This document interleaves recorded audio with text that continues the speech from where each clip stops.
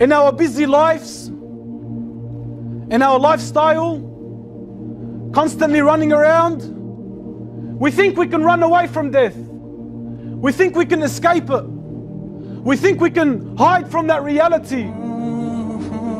Put this scenario in your head, my brothers. It is time for you to go. You're leaving this world. You're sitting on your deathbed. Would you be thinking of the women? Would you be thinking of the cars? Would you be thinking of the houses? Would you be thinking of that dollar? What would you be thinking of? You would be thinking of myself, my deeds. What have I done? Because if you knew the reality of death, then wallahi, wallahi, you'll be the best Muslim that you can. Every soul will taste death, and you'll be one of two. One of two souls, either the good soul or the wicked soul. It will, it will lie down in the grave, and then the two angels will come, Munkar wa Nakir. Those two angels will come and they will ask this soul three questions very, very easy for us to answer now.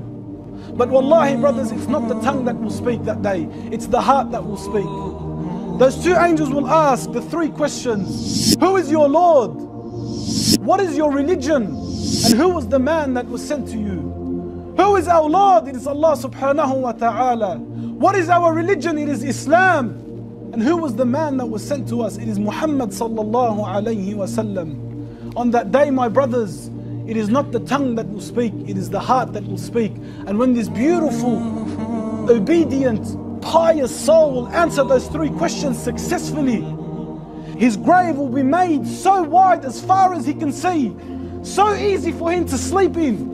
It's going to be so comfortable, very, very wide. And a window will be opened for him. And he can start to smell the fragrance of Jannah.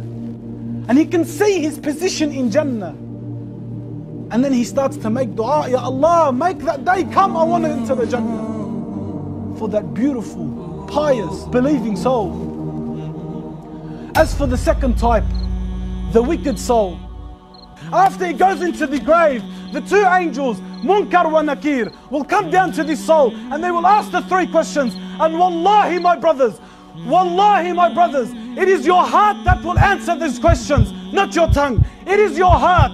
Who is your Lord?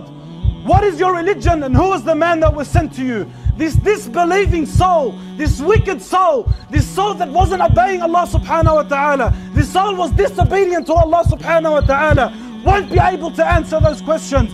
So then what happens? The angels smack that soul with a metal hammer 70 meters down into the ground. His grave will be made so tight on him, so, so tight he can't even move. And then a window will be open for him. That's your position in hellfire. Know it. That's yours. For the disbelieving soul. Wallahi, my brothers, every single one of us will taste death. And every single one of us will go through that process.